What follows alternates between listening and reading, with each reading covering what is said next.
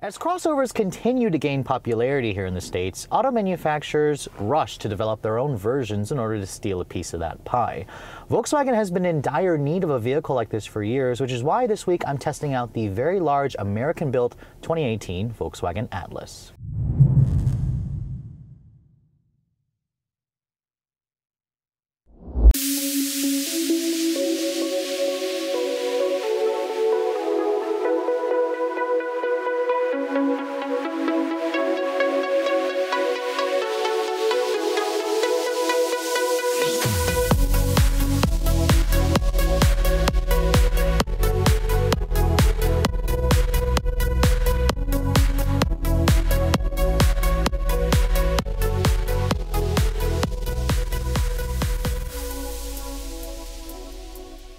Look at the model line of any manufacturer, you'll notice that their crossovers and SUVs have typically been the best sellers in the lineup. That actually wasn't the case with Volkswagen just a couple years ago, where the Jetta and Golf has always been the company's best sellers. However, with the introduction of the all-new Atlas, Volkswagen is hoping this will eventually become one of the segments or one of the brand's top sellers. And it's actually paid off. Since going on sale since May of this year, Volkswagen has moved all over 21,000 units and last month alone in November, they moved about 5,100 units, which makes this the third best selling vehicle in the Volkswagen lineup, just behind the Jetta and the new Tiguan. Uh, the Golf actually uh, only sold about 4,200 units uh, for the month of November. So, what makes the Atlas so good in the American market? Well, this is a vehicle designed specifically for the American taste. It's built at their uh, Chattanooga, Tennessee plant next to the Volkswagen Passat, and this is the largest vehicle Volkswagen has ever produced. It's actually built on the same MQB platform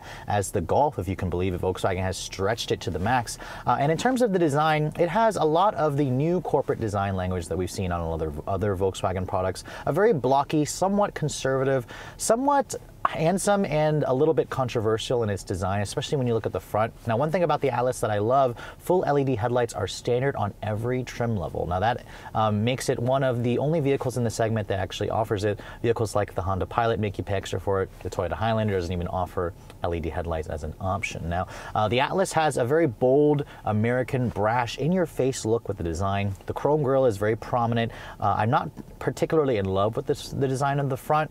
I think it looks better from the rear, but I do like some of the elements here. You do have fog lights. You do have a very, you know, traditional, blocky, kind of aggressive look to the design. Um, now, when you look at the wheel sizes, my tester being an SEL Premium, these are the 20-inch wheels that are standard on the SEL Premium. You can also go for a black finished 20-inch wheel if you guys want. The lower trims of the Atlas, which by the way, they offer it in five trims, will come with a smaller 18-inch wheel design. Now, Looking at the proportions of the Atlas, this is a big vehicle. It's much larger than the company's second largest vehicle, the Touareg, which was just discontinued for 2018. Its wheelbase is about 117 inches long. Its overall length is about 198 inches long. This is about four to six inches longer than your neighbor's Pilot and Highlander and it's also a couple inches wider. And the wheelbase is significantly larger, about six inches longer than the current generation Honda Pilot, which gives this vehicle a lot more space. Now at the rear, I think this is probably the most handsome proportion of the Atlas. It has a very Audi-like design to it. I like the LED taillights that are included on this SEL Premium and then the dual exhaust tips. Now my tester, um, being the top of the line, it comes with 4Motion all-wheel drive. It comes with the company's VR6 3.6 liter engine. There's also a 2 liter turbo, which I actually haven't driven yet. But enough about the exterior. Let's take a look at the inside since that's the important element of a vehicle in this segment and see how Volkswagen has done. So when you first approach the Atlas, this is unlike any other Volkswagen product you've honestly seen here in the States. It's just a huge vehicle and that's immediately noticeable as you walk up to the vehicle. Now, looking at the key fob, it's the current Volkswagen key. It doesn't actually have the switchblade anymore. Uh, it's the smart key access system with push button start. It also gives you a remote start. To activate it, just push the lock button, push and hold this button here twice, and the engine will start right up for you. If you want to deactivate it, just push and hold that button again and that will turn the remote start off. Now when you approach the Atlas, you can see here, it's got a little ridge on the door handle here. This is to lock the door. Just touch it. When the key is on you, it'll lock the doors. The mirrors also electrically fold to unlock it. There's a sensor on the back. Just put your hand on the back of the handle and it unlocks the door for you. Now looking at the inside of this 2018 Atlas, you can see my tester has the Shetland interior. This is the actual real leather. It's not the VTEX leatherette that you get on the other trims. The SEL Premium is the only one that gives you the real cowhide. And the interior is very handsomely appointed. It's very Volkswagen restrained and it actually does take a little bit of technology from Audi, which is nice to, to see in this vehicle. Now getting in, it has the perfect step in height.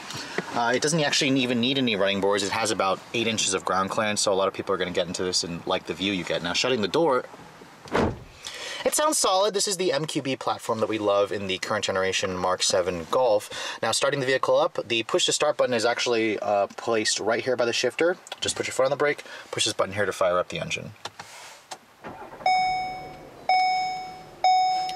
Now my tester being the top of the line does have the Volkswagen digital cockpit display, which is very similar to Audi's virtual cockpit. And the engine,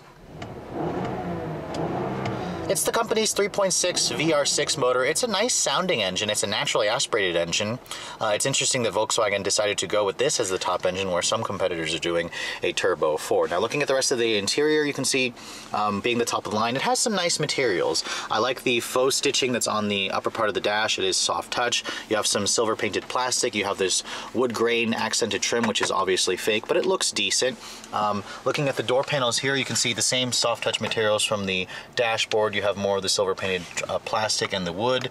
Um, you have the aluminum door handle. This this model having the upgraded Fender audio system. It's nice and padded right here where your elbows will rest. The windows are one-touch automatic for all four, which is definitely nice. I expected that for sure. The windows, uh, the mirrors also are electrically folding if you guys want that. Your light controls are down there.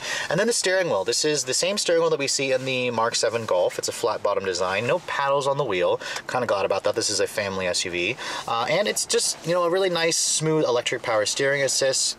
I think a lot of buyers are going to get into this and you know kind of feel very familiar. It's a high quality cabin. I especially love the digital cockpit display. Now this coming over here to the head unit. This is the 8-inch Discover Media touchscreen head unit. It's the updated system I've shown you in the Golf before. You can see it's like an all glass screen here, which looks very clean. I like the fact that there's a volume and a tuning knob. All your buttons here are touch sensitive on the outside, uh, and overall it works pretty well. Uh, when you go to the app display here, um, it has uh, Android Auto and Apple CarPlay. That is standard across the board. Um, when you guys uh, go for any of the trims, let me plug my phone in really quick here and have it connect to there so I can show you the Apple CarPlay and you can see there is the Apple CarPlay.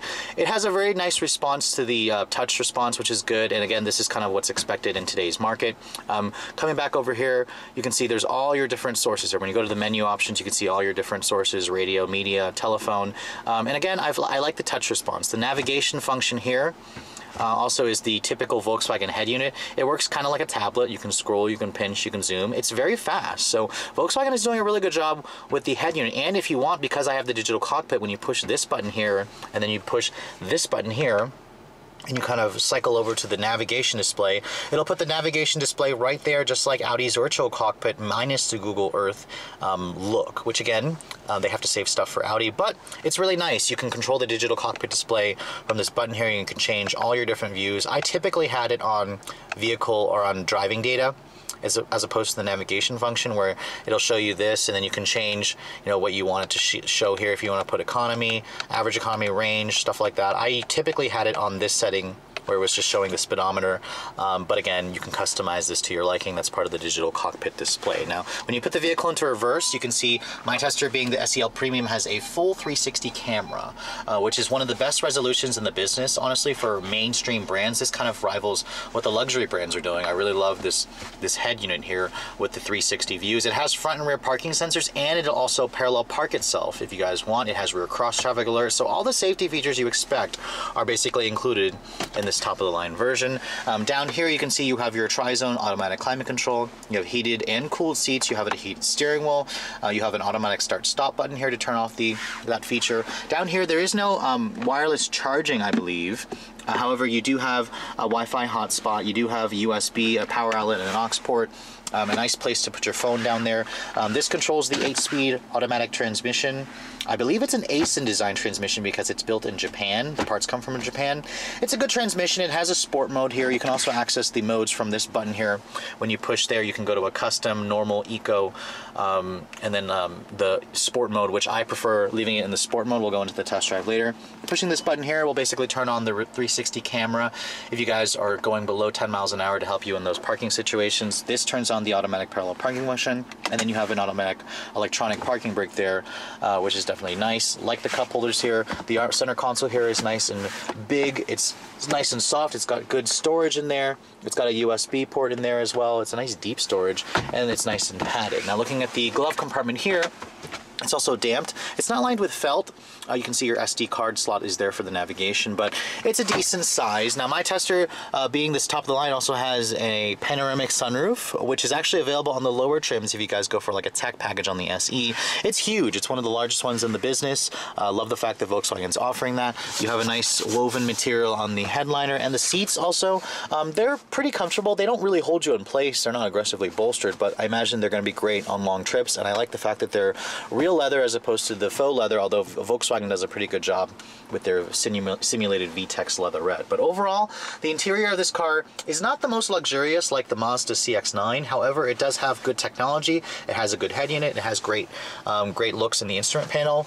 Uh, and it's also roomy and spacious and it gives you a nice view of the road. So I think Volkswagen kind of nailed it there in terms of what the American buyers are looking for uh, in this larger crossover segment. Looking at the second row of the Atlas, you can see the seats offer plenty of space and they also adjust, they slide forward and back to give you a little bit more space. The seat back itself also kind of will recline. If you pull this lever here, um, you can recline the seat back back. And to get to the third row is pretty easy. My tester being the top of the line model has these manual retracting sunshades, uh, which is definitely nice to have. Now stepping back here, you can see really nice, easy step in height, just like the front seats. So when you shut the door, they also sound nice and solid. You kind of give it to them with their MQB platform. Now, um, because the Atlas is so wide, you can see you can easily fit three across here. You can also replace this bench here with captain's chairs if you guys want to do that, although that does lower your seating capacity to six versus seven. This vehicle maxes out at seven passengers. Uh, some competitors do offer eight. I'm surprised they don't do that.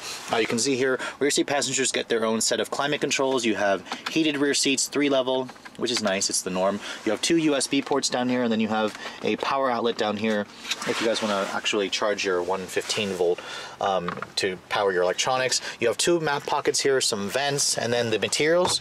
It is hard touch plastic on this upper portion, like the front. There's aluminum for the door handles here, but it is nice and soft padded uh, where your elbows would rest on the armrest. Now because the Atlas is so big, Volkswagen is um, bragging about the fact that you can actually put full-size adults in the third row, so let's find out if that's the case. Now to access the third row, it's not quite as easy as the Pilot, but you just pull this lever here, and the seat itself kind of flips forward and then slides forward. And actually it gives you a pretty large opening uh, to get to the third row, so that's a really good impression. Now getting back here, I am pretty short at 5'7", um, but Let's put the seat back. Now to put the seat back, it's kind of annoying because you think you just grab this and it'll come back. You actually have to pull the lever again. That'll make the seat back recline. And then this is kind of where you can have the seat adjusted slightly um, to give you a little bit more rear seat space. This is with the seat all the way back, which would definitely be a little bit tight, although I could probably deal with this on a longer trip so this isn't terrible. Uh, my knees do hit the or the seat back uh, when the seat is moved back, but again, you can move the seat forward to give passengers a little bit more space. And the space back here is actually really good. I'm pretty shocked actually. Like there is, because the vehicle is so wide, you could easily put two across here. I'm surprised they didn't allow for a third passenger and the third row to expand seating capacity to eight. But materials are hard touch plastic here. You have a nice view because of that pano sunroof. But I mean, overall, with vents back here, I could sit back here on a longer trip, no problem, especially when the seat moves forward a little bit. So Volkswagen, you did a really great job with uh, making the third row in this vehicle actually usable for adults. Now most of the upper trims will come with a power tailgate, which is definitely expected in this class. It also has the hands-free function, which again is expected. Now because this vehicle is much larger than the competition, you're looking at more cargo space as well. With all the seats up, you're looking at around 21 cubic feet of space. Now if you want to fold down the second row, Volkswagen makes it pretty easy. First of all, the headrest needs to be lowered and I had these up because I was sitting back here. Um, and they're just lowered by pushing a little button here and then push it down. And the seats, they're not electrically folding. You just kind of pull here on this little lever and then push the seat forward and then it folds down nice and flat. When you fold down the second row, you get around 55 cubic feet of space. And then if you fold down the, the uh, second row, I'm sorry, when you fold down the third row, you get 55. Fold down all this, the rows, you get around 98 cubic feet of space, which is about 15 more cubic feet of space than what you get in a Honda Pilot or a Toyota Highlander. This is making it one of the largest in the segment. Only the, the huge Chevrolet Traverse gives you a little bit more space, but again, Volkswagen made sure they designed this for the American families, and it definitely shows with how much space you get in the third row and the cargo area. Now, underneath the floor here, uh, you do have a temporary spare tire underneath there, in addition to the sub for your Fender audio system and a little bit of storage. So Volkswagen, you did a really good job with uh, packaging this vehicle. It's definitely going to appeal to a lot of buyers. I can see why it's selling so well.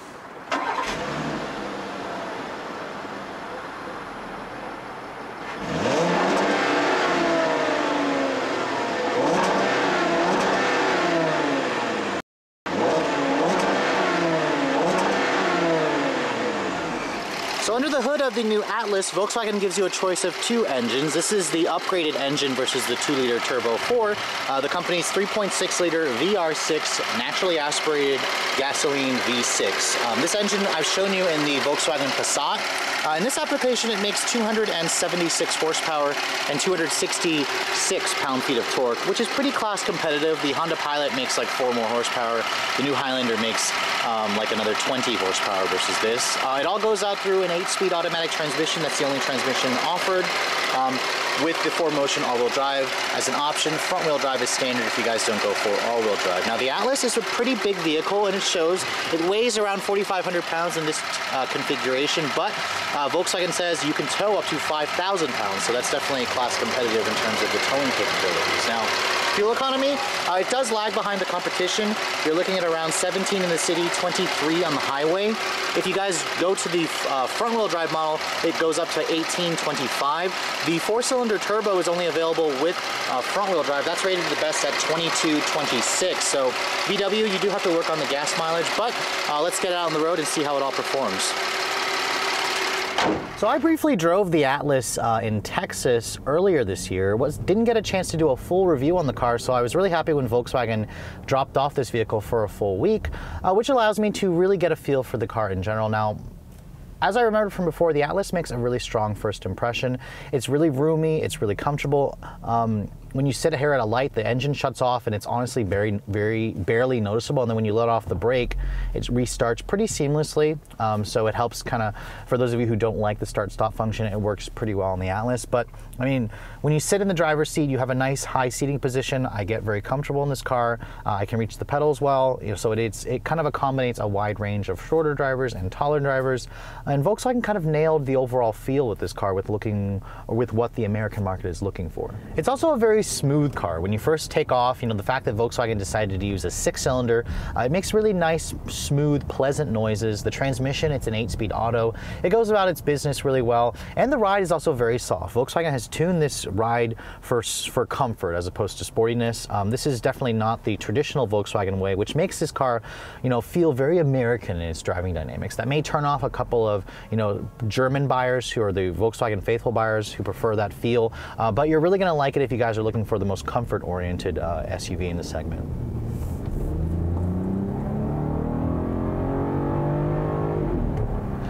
Now, this is the VR6 motor, and this is a lot of weight that it's pushing around. So you can feel that the Atlas can can feel a little underpowered at times, which can be a little disappointing um, considering this has you know 276 horsepower. But again, it weighs 4,500 pounds. The 8-speed auto is tuned for comfort as opposed to speed. Now, it will feel adequate most of the time. It's really where you kind of feel this car has a little bit light on torque.